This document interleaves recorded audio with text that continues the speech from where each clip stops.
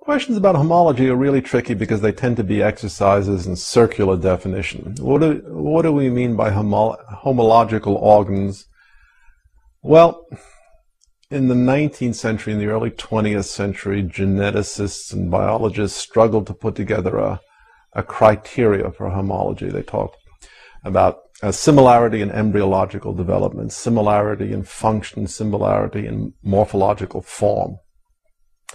That's reasonable, but a little vague, a little unclear.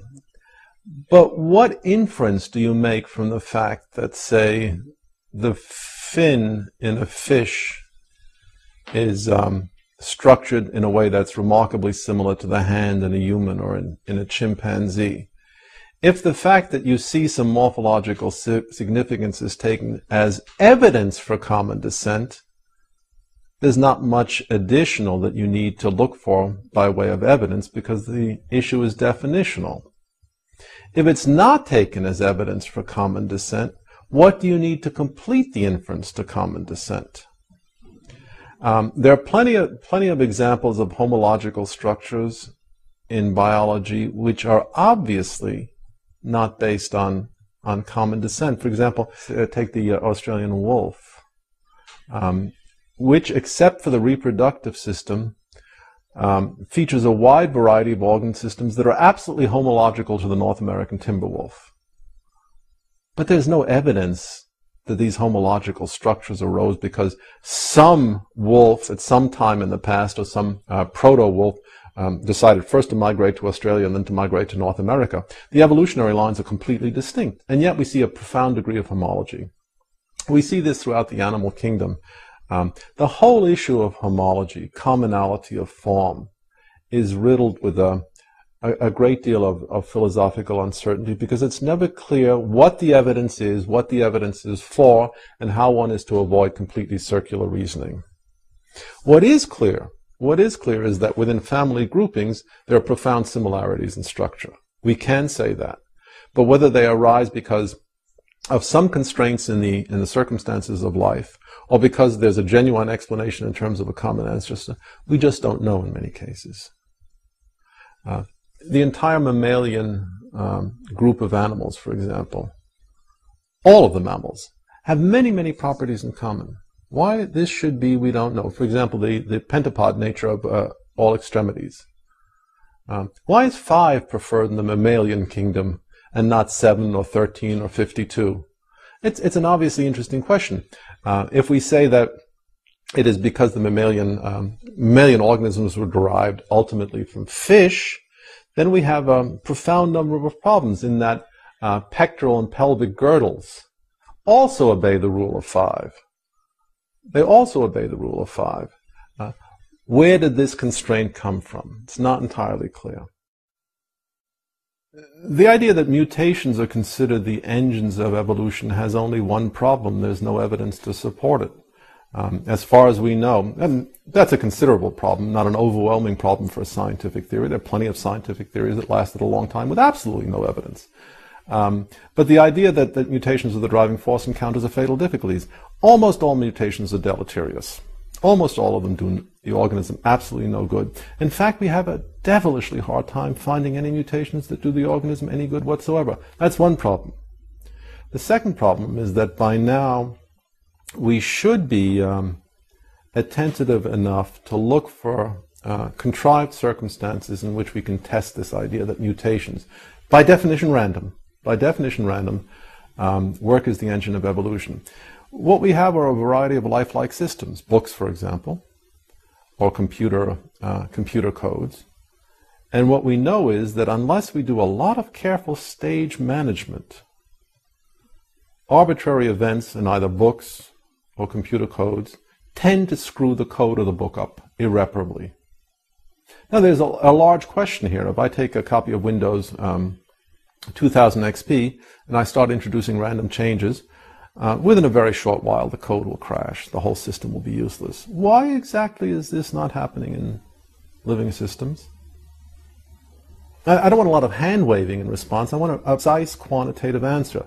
Living systems don't experience catastrophic failure under random mutations because. And if you know, tell me. I'll take your call day or night.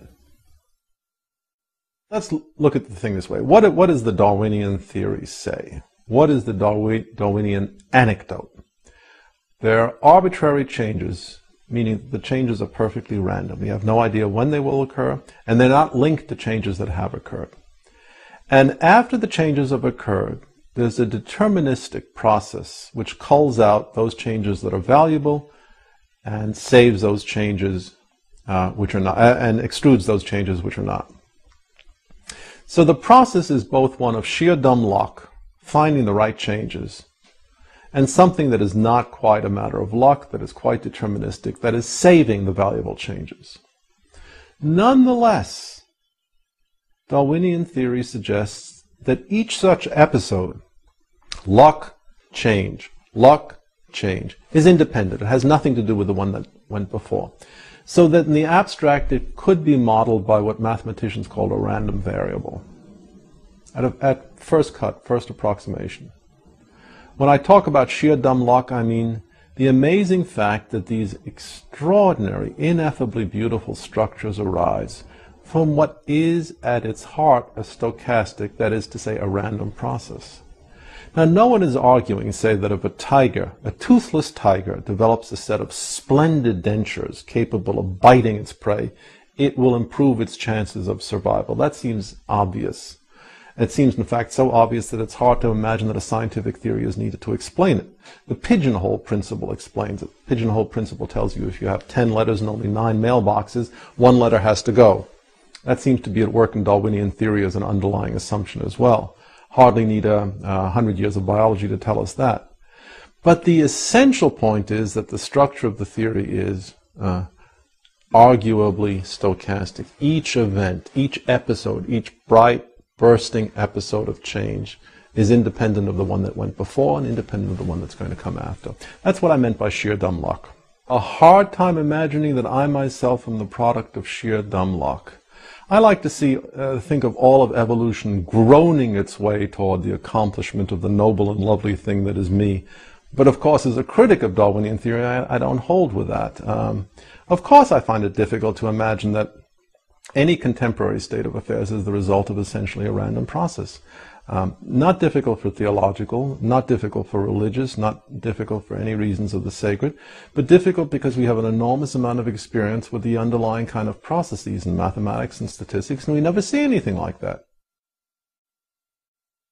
I imagine that uh, Juan Luis Borges, the famous writer, was offering an account of the origins of every contemporary novel. And uh, as is wont, um, he, he argued that all novels are really one novel, that is Don Quixote, and that all novels would, were derived from the Quixote by random copying changes in an obscure group of Cistercian French monks. Um, when I wrote that, I wanted to poke fun at Darwinian theory, but the more I thought about it, the more it seemed perfectly reasonable that that should be the account of the origins of the novel. Uh, you began with Don Quixote in the 15th century, 16th century. You had groups of monks who didn't speak any Spanish, didn't speak any French, um, copying it as medieval monks, uh, monks copied the Bible, and they introduced copying errors. And sure enough, after a certain amount of time, Don Quixote changed to War and Peace. Um, different language, different notation, different elements, um, but essentially a process of copying errors. Um, if we find that preposterous, and I certainly do, little shiver could, should go up our backs when we think of the analogous, an, analogous claim being made in the context of biology.